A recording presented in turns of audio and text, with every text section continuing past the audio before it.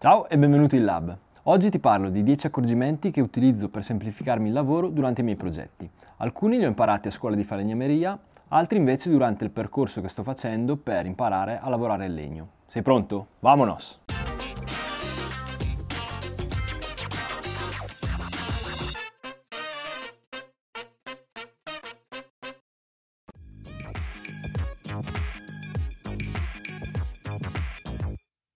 Qualche anno fa ho intrapreso il percorso per apprendere le tecniche per lavorare il legno e ho imparato a mie spese alcuni problemi che si possono verificare.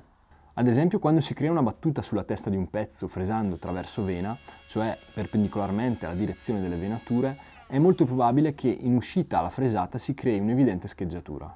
Per fortuna però questo problema si può evitare facilmente affiancando al pezzo di lavorazione un cosiddetto martire dello stesso spessore in modo da poter proseguire la fresata di 1-2 cm e quindi ottenere un taglio privo di scheggiature. Infatti il martire assorbirà la fresa in uscita evitando questo inconveniente.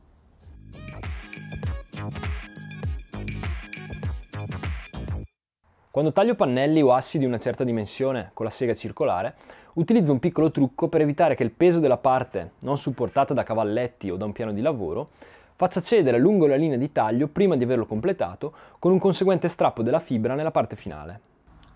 Semplicemente mi procuro un listello lungo e non troppo spesso che a metà del taglio inserisco al di sotto della parte già tagliata e che mi aiuterà a sostenere il pezzo fino alla fine del taglio.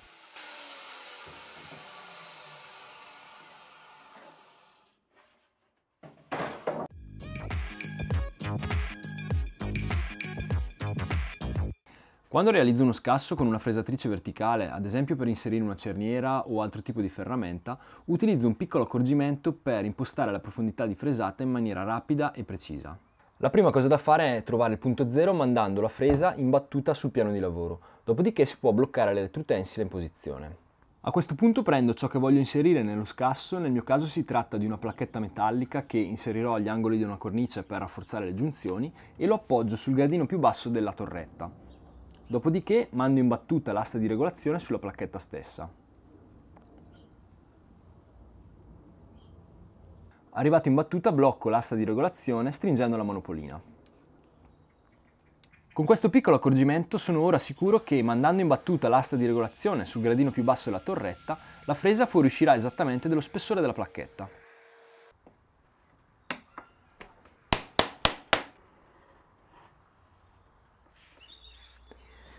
Questo è un metodo empirico che ci permette di evitare misurazioni che tra l'altro possono a volte introdurre un grado seppur minimo di errore. Ovviamente è un accorgimento che si può utilizzare non solo per realizzare piccoli scassi, ma anche fresate più profonde, a patto di avere a portata di mano qualcosa di cui si conosca esattamente lo spessore e che tale spessore sia pari alla profondità che vogliamo ottenere.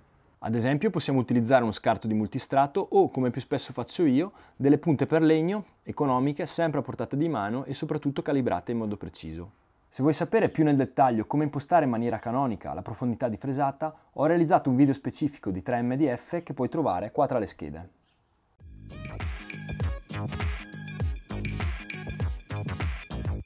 Quando si portano a misura i pezzi che comporranno un progetto, può succedere a volte di tagliarli con una lunghezza leggermente maggiore rispetto al voluto. In questi casi sfrutto la conformazione della lama per rimediare all'imprecisione. In particolare gioco sul fatto che il corpo della lama ha uno spessore inferiore di qualche decimo di millimetro rispetto al dente. Quindi mandando in battuta il pezzo da ridurre sul corpo della lama asporterò questa minima differenza, riuscendo il più delle volte a risolvere il problema. A volte può essere necessario ripetere questa operazione più volte per avvicinarsi a piccoli passi alla misura esatta. Io utilizzo questa tecnica alla troncatrice perché mi è più comodo, ma si può fare lo stesso con un banco sega aiutandosi con un goniometro o con una slitta per i tagli a troncare autocostruita.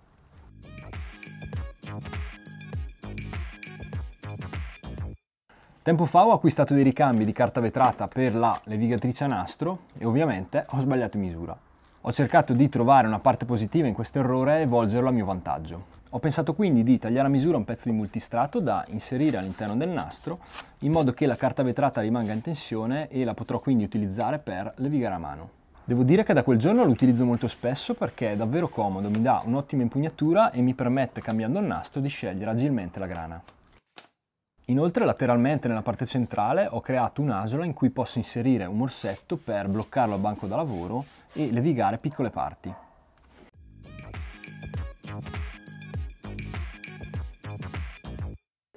Quando si realizza un tavolino, una sedia oppure una panca, è buona norma rinforzare gli angoli interni con dei cantonalini, ovvero dei triangoli rettangoli in legno tipo questo. La loro funzione è quella di garantire che la struttura rimanga a squadro nel tempo. Generalmente quello che faccio è mettere un po' di colla sui lati corti e tenerli in posizione con un paio di punti di sparachiodi.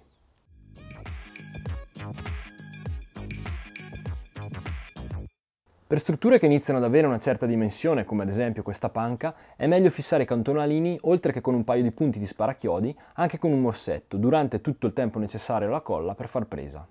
Il problema è che non possiamo utilizzare il morsetto in questo modo perché non otterremmo un buon serraggio e quasi sicuramente andremo a rovinare lo spigolo. In questa situazione ci viene in aiuto un blocchetto come questo, che ha un alloggio adatto ad ospitare l'angolo della struttura, che ci permette di avere una superficie parallela al cantonalino e utilizzare quindi al meglio il morsetto.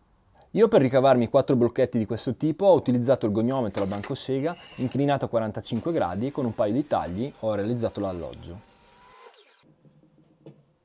Ovviamente l'utilizzo di questi blocchetti non è limitato al fissaggio dei cantonalini, ma ci viene in aiuto ogni volta che dobbiamo avere una superficie a 45 gradi con la giunzione che abbiamo realizzato per fissarla con dei morsetti.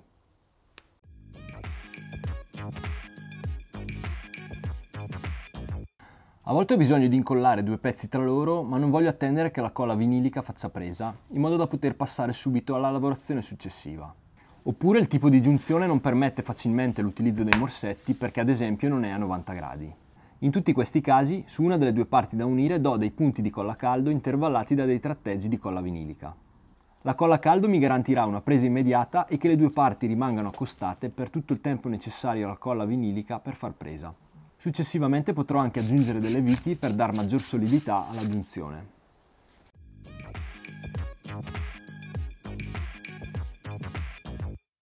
A volte capita di dover dividere una tavola in x parti uguali e la misura iniziale del pezzo ci mette di fronte ad un calcolo difficilmente risolvibile a mente, a meno che non si sia dei draghi della matematica. In questi casi utilizzo un piccolo trucco che mi permette di semplificare molto il calcolo rendendolo praticamente scontato. Nello specifico si tratta di posizionare il metro in diagonale fino a raggiungere una misura che sia multiplo del numero di parti in cui vogliamo dividere il pezzo.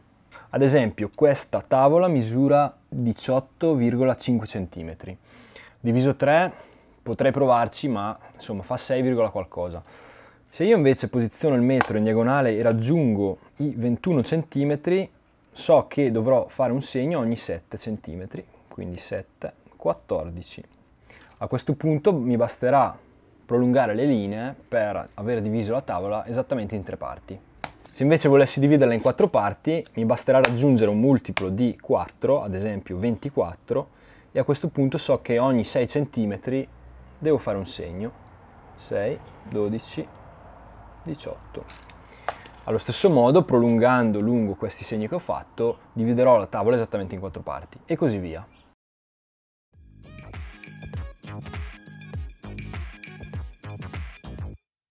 Questo accorgimento l'ho visto utilizzare per la prima volta direttamente a scuola di falegnameria dal mio maestro. Ricordo che in maniera molto rapida e precisa tracciò a mano libera una linea perfettamente dritta. Osservando meglio capì come aveva fatto. Si tratta di appoggiare i polpastrelli del dito medio o indice o di entrambe le dita a un lato di un pezzo di lavorazione che utilizzeremo come guida. A questo punto si irrigidisce la mano e tenendo le dita in pressione sul lato del pezzo si scorre avanti e indietro tracciando la linea. Ovviamente affinché il metodo abbia successo il lato del pezzo deve essere perfettamente dritto.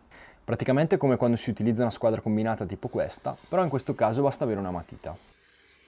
Il limite di questo metodo è che non possiamo tracciare delle linee troppo distanti dal lato che utilizziamo come guida, perché più ci allontaniamo e più si fa fatica a tenere rigida la mano. In questi casi si può applicare lo stesso principio utilizzando però in aggiunta un flessometro oppure un metro da falegname.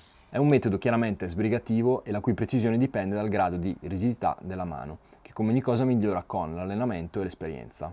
È quindi un accorgimento secondo me da utilizzare quando non si ha a disposizione una squadra combinata.